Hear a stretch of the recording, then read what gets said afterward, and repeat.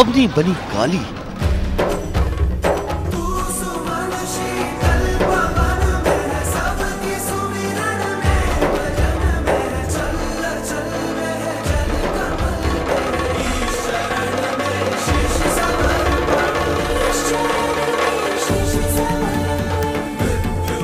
किसकी चढ़ेगी बलि?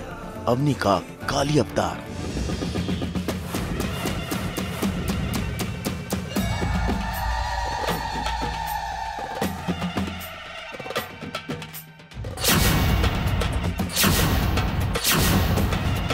दयावंती पर प्रहार।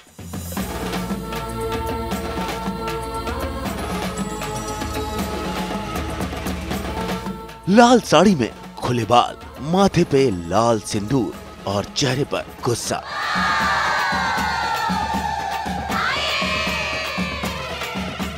हाथ में हथियार है और अवनी पर आज खून सवार है।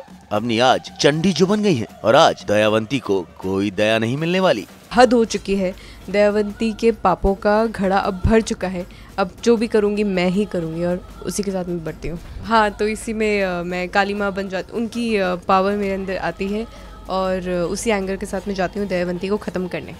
सोचा नहीं था कभी ये काली माता काली माता का रूप ले लेंगी बट ऑफ़ कोर्स जब वो उसके अंदर है, जहाँ दयावंती ने बेसिकली उन्हें एक बॉन फायर के अंदर डाल दिया है एंड जहाँ पे वो अनकॉन्शियस है, और उन्हें बहुत सारे फ्लैशेस आ रहे हैं, उसके डैड को कैसे मारा, उसकी मॉम को कैसे मारा, अमोल को कैसे कन्वर्ट कर दिया एक from good human to bad human तो आ, वो सारे फ्लैशेस आने के बाद काली माता उनके अंदर आती हैं वो खड़ी हो जाती हैं दयावंती को मारने के पीछे दौड़ती हैं। दयावंती अपनी आदतों से बाज नहीं आती। सालों पहले अपनी को गोली मारी थी और उसे ज़िंदा इसी आग में झोंक देना चाहती थी।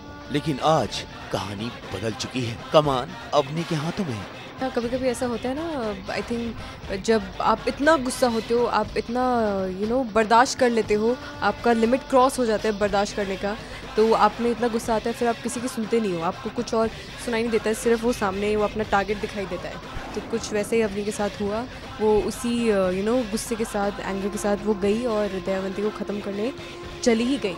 उसने ये सोचा कि अब कोई कानून या कोई उसकी हेल्प नहीं कर सकता। देवंती ने अवनी की बलि चढ़ाने का फुल प्रूफ प्लान बनाया था।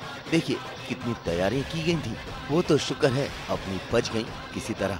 नील भी एकदम हीरो की तरह टाइम पर पहुँचे और अवनी को अनहोनी करने से रोक दिया।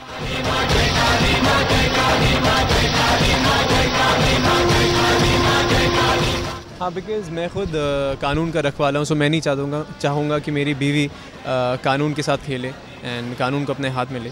सो इसलिए मैं यहाँ पे आता हूँ, मैं इसे रोकता हूँ कि यार please don't do this and कानून will take care of this एकदम सही कहा। दयावंती अब पुलिस के कब्जे में जा चुकी है, उनकी सही जगह पर। अब कम से कम कुछ दिनों तक नील और अवनी की ज़िंदगी में सुकून तो रहेगा। वैसे इतने ड्रामे के बाद सुकून तो मिलना बनता है अवनी अब तो बस हैप्पी एंडिंग की तैयारियाँ कीजिए।